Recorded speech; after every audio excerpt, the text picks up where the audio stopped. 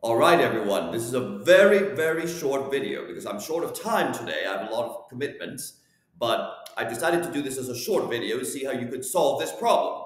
I will uh, discuss the solution. So you have about 24 hours to solve this problem. And I just wanted to tell you all at City Tutoring, we don't just help you pass math. We transform the way you think about math and the way you do math.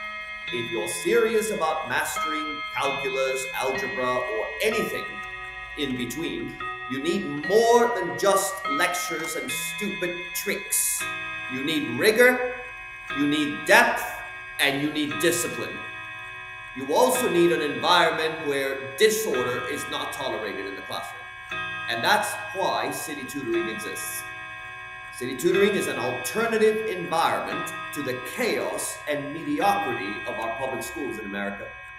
If you want to be taught the right way, the rigorous way, the orderly way, the only way to really master, truly master mathematics, you can contact us at info, info at citytutoringmath.com. Let's see how you do with this problem and uh, see how if you come up with the correct solution.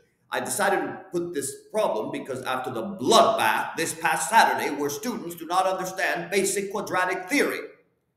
And so let's see if you do.